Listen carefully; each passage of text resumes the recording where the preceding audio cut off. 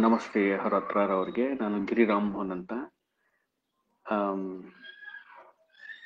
ಇದೀಗ ತಾನೇ ತಮ್ಮ ಮೂರ್ಖನ ಮಾತುಗಳನ್ನ ಓದು ಮುಗಿಸ್ದ.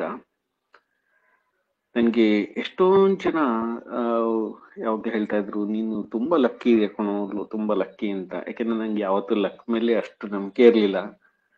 ಆದ್ರೆ ಇವತ್ತು ನಿಜವಾಗ್ಲೂ ಅನಿಸ್ತಾ ಇದೆ ನಾನು ಎಷ್ಟೋ ಜನ್ಮ ಜನ್ಮಾಂತರಗಳಲ್ಲಿ ಎಷ್ಟೋ ಪುಣ್ಯ ಮಾಡಿದ್ದೀನಿ. ಅದಕ್ಕೋಸ್ಕರನೇ ತಮ್ಮಂತವ್ರ ಸಹವಾಸ ಈ ಸಿಕ್ಕಿದೆ ಅಂತ ಅನ್ಕೊಳ್ತೀನಿ. ನೀವು ನನ್ನಲ್ಲಿ ಒಂದು ಬೀಜ ನೆಟ್ಟಿದ್ದೀರಾ ಈಗ? ಇದನ್ನ ಮಾತ್ರ ಹೇಳಬಲ್ಲೆ ಗುರುಗಳೇ. ಅವ್ರ ಹತ್ರ ಅವರೇ ಇದು ಬಹಳ ಹೆಮ್ಮರವಾಗಿ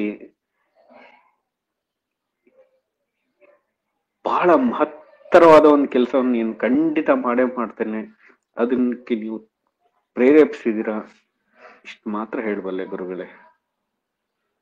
ಧನ್ಯೋಸ್ಮಿ ಆ ಬುಕ್ಕು ಓದಿದಾಗ ನಿಜವರು ನರನ ಅಡಿಯಲ್ಲೆಲ್ಲ ಒಂಥರ ವಿದ್ಯುತ್ ಸಂಚಾರ ಆಗ್ತಾ ಇತ್ತು.